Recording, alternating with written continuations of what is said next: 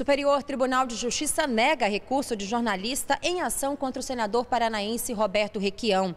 A decisão foi unânime na quarta turma. A jornalista Joyce Hasselman pedia danos morais contra o senador Roberto Requião, do MDB do Paraná, por ofensas que ele teria feito a ela após a divulgação de uma reportagem em que a jornalista acusava o senador de supostas irregularidades no processo de compra de 22 mil TVs para escolas públicas em 2007, época em que Requião era o governador do estado.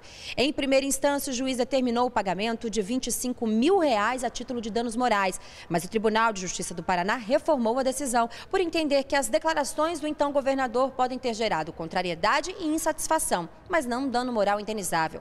A jornalista recorreu ao STJ, onde o relator, o desembargador convocado Lázaro Guimarães, em decisão monocrática, rejeitou o recurso. A quarta turma manteve a decisão do relator e negou o pedido de indenização.